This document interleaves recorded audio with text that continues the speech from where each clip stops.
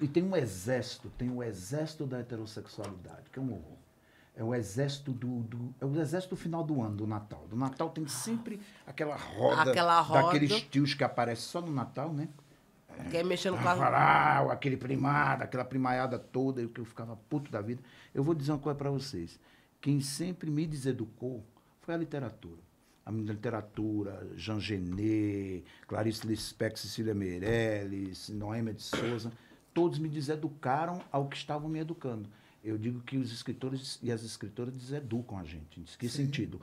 É, não é isso aqui, é olha as possibilidades do que pode ser, né? Verdade. Por que, que eu estou falando isso? Porque no final do ano eu era adolescente, mas já estava lendo pra caramba.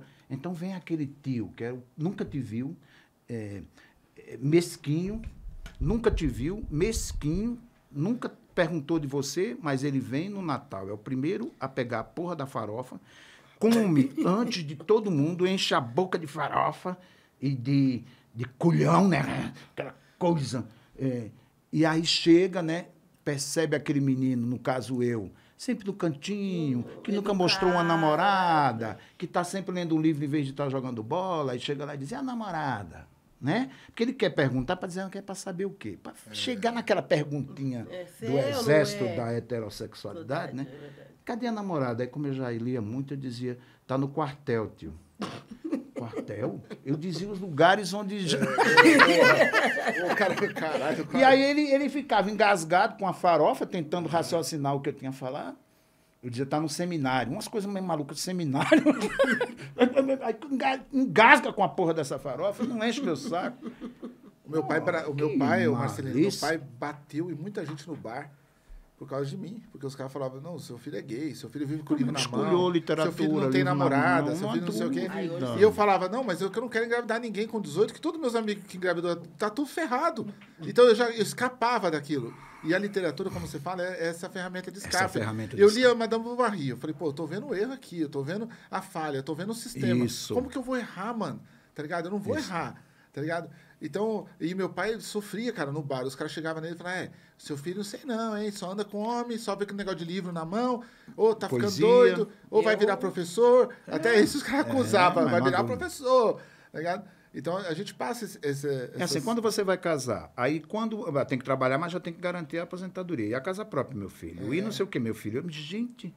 Eu tenho que garantir tanta fé. coisa. E a oficina? é E a oficina. Marcelino, de, de heterossexual também? Ó, meu filho, quando você pegar a menina, pega nos peitos, viu? é. Aí eu falei, caramba, parece que eu tô desmamando uma que nós faca, mulher não velho. tem isso, né? Nós mulher não ensina Não, nada pra disso. vocês, eles ensinam assim, ó, você Ao se deu respeito. É, se deu respeito. Se Você- deu respeito. Um homem, é, perto de um homem, você não pode sentar assim. Você Ah, não pode deixar isso aqui. Então, quando Isso eu, na é minha um adolescência... exército Em- infinito. Por isso que a quando- mulher não consegue fazer xixi em nenhum lugar. Lugar, não. Por isso que a mulher não tá bem, ela tá sempre... Sempre ela tiver numa roda de homem, fica se achando, se ela não tá se achando demais, se tá Sim. mostrando demais. Quando tem opinião, tá vendo como ela é É, agressiva? é, Tá exatamente. vendo como ela. É, Eu era é, Parece ela, ela é tão assim. é, Eu era a menina que ninguém queria homem. Namorar, que é na ninguém dava quebrada? ideia. É o quê? Eu era a menina que ninguém dava ideia. Porque eu era. Tinha meu jeito de moleque, era muito moleca, tive que ser moleca, porque quando eu me vestia menina, eu sofria muito assédio na rua. E eu não, gost- não curtia isso, então eu usava camiseta, bermudão. Então, de Holanda ninguém olhava, só andava do meio dos machos, os machos me tratavam que nem macho mesmo. E era Uma de igual. proteção, né, Era pra, foi uma forma que eu me criei Isso, de proteção e, e ali. E só de uma, aí chegava do pé das meninas, as meninas falavam pra mim, mas como assim? Você só fica com homem? Só anda com homem, você é sapatão? As meninas me recriminavam porque eu andava no meio dos homens, então eu me dava bem com os moleques. Mas no meio das meninas eu não sabia lidar, porque as meninas, ah, pintar unha. Eu vim ter essa, essa minha feminidade de mulher, de querer ser perua, de pintar a unha, né? depois de véia. Quando era nova, eu não tive essa chance. Minha mãe falava pra mim, não, filha, você não pode pôr short curto. Não, você não pode usar... Porque o assédio na rua era, era, era grande. E eu sofri isso com 12 anos. O cara chegou na minha tia e falou, você quer quanto pra deixar ficar meia hora com essa menina ali no carro? Isso nós numa praça em Moema, em plena luz do dia. Tá ligado? Então eu falo as meninas, eu sou perua É hoje. chato, É velho, cha- E quando pra eu vim caralho. mostrar essa minha feminidade, vestir uma roupa curta e me achar e foda-se quem estiver olhando, ter que me respeitar de igual, porque a mulher pode ela andar nua. Você não põe na mão, meu amigo, você pode olhar. Olhar é o ofício de todo mundo. Mas respeita. E aí, uma vez, num, num rolê aleatório com meu marido e tal, aí os, né, os machos chegou e falou, é, os, é, de Holanda, você sai assim, toda de vestidinho, apertadinha, do meio dos... Assim, isso é uma falta de, re- de respeito por quê, meu irmão? Segura eu não posso. punhão eu aí, falei cara. pra ele, você não é homem suficiente. bolas, é, eu, falei pra ele, você não é Você- homem você- você é suficiente. estuprador, pra- você não é homem suficiente pra olhar pra uma mulher e desejar sem querer pôr a mão? Quer dizer É. Você que. que eu- tem um problema, É você é. tem um problema, Eu não, não. sou eu. E eu vi isso no meio assim, numa banca de homem. Eu falei, Mas, mas Gil, você sabe, ó, isso? você sabe bem que você é mulher. É um bagulho louco, Marcelo, que eu vou te falar.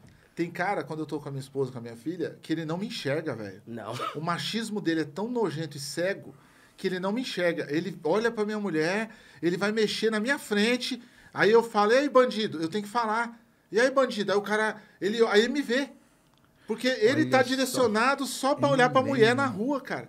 Tá ligado? Então, muitas vezes eu tô no carro, aí o cara tá secando, mexendo. Psiu. Aí eu, e aí, qual que é, parça? Aí o cara me viu.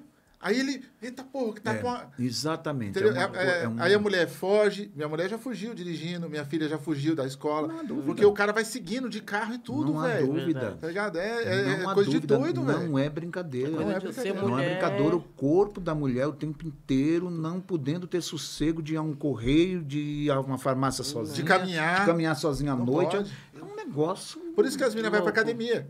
Porque não consegue caminhar. Não. Na rua fazendo- não dá pra andar na rua, tá é uma ligado? buzinada, é um. Ai, tá isso. É muito ruim, é muito Não, o chato, cara. é chato. É muito chato.